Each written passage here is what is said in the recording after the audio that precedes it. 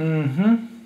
Jag vet inte hur man börjar något sånt här, men jag tänker att jag bara sätter mig här och pratar lite från hjärtat. För att jag, jag har kommit till en punkt i mitt liv där jag känner att jag verkligen vill göra någonting åt det här. Och det är min ätstörning. Jag har kämpat med den ganska länge och ganska mycket typ i tystnad för att min familj vet liksom inte så mycket om den här. Mina vänner vet inte så mycket om den här. Ingen egentligen vet om den. Vi kan ta det lite från början. Bear with me. Kolla gärna på hela den här videon så ni bara får the full picture. När jag var 15, 16, jag var 15 ungefär. Jag var liksom i, i nian någonstans.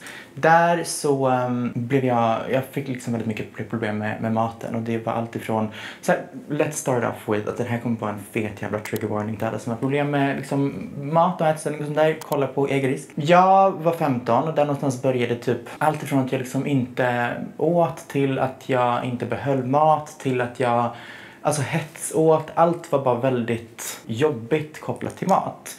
Och det höll i sig ett tag. Det var liksom typ två år där det alltså verkligen var jobbigt och det verkligen var så här ett konstant du vet, sår i huvudet. Jag tror att allt började väl någonstans med att jag bara hade en skev kroppsbild. Det begrundar sig alltid att Alltså det begrundar sig alltid i att jag, jag vill förändra på mig själv. I don't know. Och det finns väl något typ av, någon typ av kontroll man kan få genom att kontrollera mat eller att kontrollera om maten stannar i kroppen eller kontrollera, vet allt tror jag begrundar sig någonstans i något typ av kontrollbehov. Och eh, ja, men det höll väl i sig från att jag var 15 till typ 17 och där någonstans så började det typ ändå bli lite, lite bättre och jag började med Youtube när jag var 17 och det var också startskottet till att jag började må så mycket bättre på så många olika plan. Jag blev liksom frisk från alla möjliga psykiska besvär som jag hade när jag var, när jag var yngre. För att jag hittade Youtube och hittade liksom någonting att kanalisera mig själv i. Att hitta ett intresse, att hitta bara någonting som typ gav livet verkligen som mening. Alltså det här är mitt kall. Och då försvann liksom allt. Liksom all, all fokus på mat och all fokus på att inte tycka om sig själv. För att jag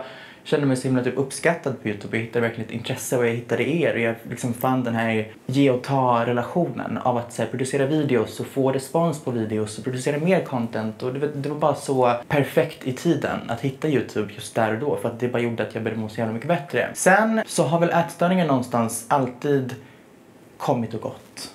Och det har alltid varit kopplat till, inte en konkret händelse, men ett skifte i mående om jag typ får en dipp rent psykiskt så kommer också ett behov av kontroll eller behov av jag menar, jag har en alltså, beroendeproblematik på pappas sida. Alltså min farmors alla syskon är allihopa typ alkoholproblem. Så att i mitt så DNA, i, i mina gener så finns det någon typ av problematik och jag vet om det här och jag ser på ätstörningen som en typ av ett typ av beroende. När typ livet vänds upp och ner så är det alltid den lilla, den lilla, lilla saken som ingen kan påverka. Det är bara jag. Och då blossar det upp. Så fort jag mår dåligt så fuckar det ur. Jag tror att steg ett till att typ komma vidare i ett beroende, eller steg ett till att utvecklas inom sånt här är att erkänna för sig själv att it's an issue. Det är därför jag sitter här idag. För att jag har kommit fram till att här, det är inte bara en, en del av mig. Det är inte bara en del det är inte bara så här jag är. Det är inte bara så här det kommer vara. Det är inte bara någonting man lär sig att leva med utan man kan bli frisk från det. Det var en person i mitt liv en gång som sa att en gång ätstörd, alltid ätstörd. Och det fastnade hos mig så jävla länge tills jag insåg att så här, det, det, är helt, det är jättedumt. Man kan bli frisk från det här. Man kan få en, alltså en hälsosam relation till mat. Det handlar inte bara om att, att mat är någonting som ska vara jobbigt och man bara lär sig att inte agerar på det. Utan du, du kan ha en relation till mat där mat bara är mat. Där mat är gott, där mat är nyttigt, där mat bara är kul. Förstår ni? Att det inte bara ska vara en jobbig grej som man bara lär sig handskas med. Man kan bli frisk från det. Jag sitter här idag för att alltså, sista halvåret har allt med mat har bara varit asjobbigt. Jag menar någonstans vid årsskiftet så märkte alltså, det, det hände någonting med mitt mående. Då kom, liksom kom det här, jag måste ha kontroll på maten. Det har varit allt från att jag har hamnat i perioder där jag så försöker att inte äta alls och försöker att träna så mycket jag bara kan till att det är perioder där jag hetsäter och sen har ångest över att jag hetsäter och sen vill jag inte äta för att jag har hetsätit och då är allt bara så en, en, en ond jävla cirkel av skuld och skam och man kan liksom inte komma in i en hälsosam rutin för att Har man hetsätit så vill man skippa nästa måltid för att man har hetsätit. Det blir, allt blir bara så jävla ångestfyllt klimat. Och eh, jag vill så jävla gärna ändra på det här. Och det jag har kommit fram till är att jag kan inte göra det här på egen hand. Och rättare sagt, jag kan inte göra det här utan att berätta för folk. Och när den här videon kommer ut så har jag redan haft det här snacket med min familj. Jag eh, kommer behöva liksom sätta mig ner med allihopa och bara hej, så här ligger det till. Just nu är det en period där jag tycker jag är dålig. Jag tycker inte jag är fin. Jag, allt blir bara, allt kopplat till mig finner jag liksom ingen motivation för. För att jag tycker att jag inte, låter jävla djupt, men inte är värd det typ. Det är därför jag vill göra den här typ resan till en hälsosam relation till mat offentlig. Så att jag, jag vet inte, att, att jag, jag vill att varje dag bara smälla upp min, min kamera och bara hej, hej, nu äter jag det här, hej, nu äter jag det här, idag har varit skitjobbig, idag har jag så här, allt, allt, allt. Bara för att så här, någonstans finna motivationen till, om jag inte kan göra det för mig själv så kan jag göra det för andra. Egentligen så vet jag att det här kommer vara en skitjobbig grej. Jag vet att de dagarna som jag för nu sitter jag ändå här och har här, en okej okay dag och nu att prata om det här känns bra. Men en dag där jag mår asdåligt, där jag bara vill på något sätt fucka för mig själv med maten, bla bla bla bla bla bla. Så kommer det vara jättejobbigt att antingen inte göra det eller att sen prata om att jag har gjort det. Men jag vet också att i längden så kommer det här vara någonting som för min del kommer göra att jag vill bara bryta mönstret. Och det är det som är så jävla svårt. Att bryta sig loss från den här onda cirkeln av antingen svält eller hetsätning eller att inte behålla mat eller att, alltså vad det nu än kan vara. Jag vill bara frukost, mellanmål, lunch, mellanmål, middag, done. Det för mig är skitjobbigt. Och jag vet att för andra är det liksom a piece of cake. För att har man inte haft en så här weird relation till mat så förstår jag att det kan vara väldigt svårt att sätta sig in i.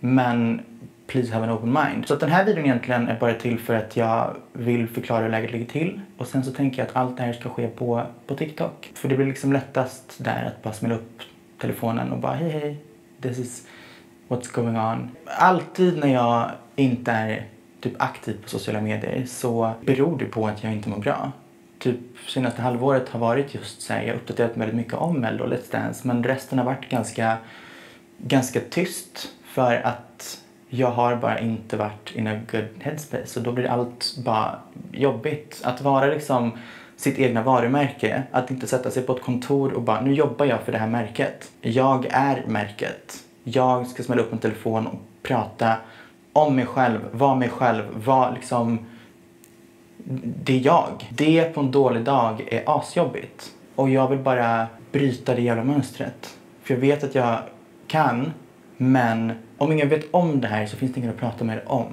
Så det är därför jag vill prata med er, prata med min familj, prata med mina vänner. För att jag är så jävla trött på att ha det så här.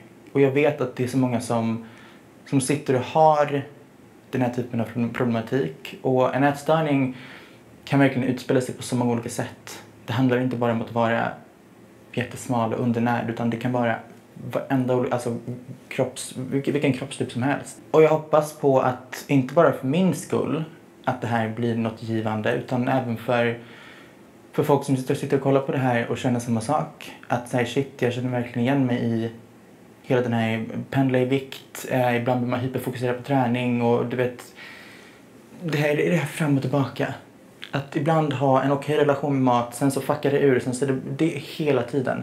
Jag vill bara hitta ett mellanting. Jag vill hitta balans. Det är nog liksom den största anledningen till varför jag gör den här videon.